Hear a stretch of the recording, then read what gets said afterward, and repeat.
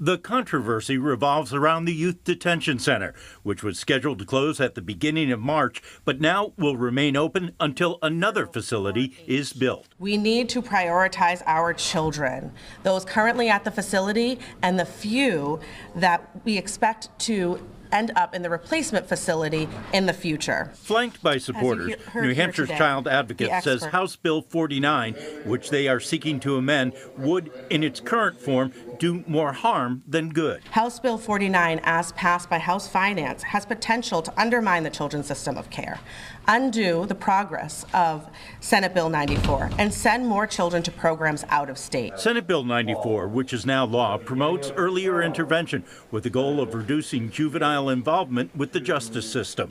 Among those in attendance at Wednesday's press conference, the legislator who will be offering the floor amendment in the House. He says that current bill has a number of flaws, including using national statistics to guide policy. Our approach to the juvenile justice system is, is, is the model for the nation.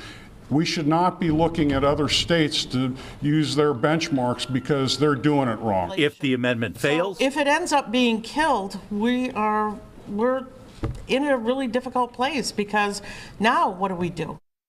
We will find out in a few hours if the lobbying efforts were successful. The House is scheduled to take up the bill this afternoon. Ray Brewer, WMUR News 9.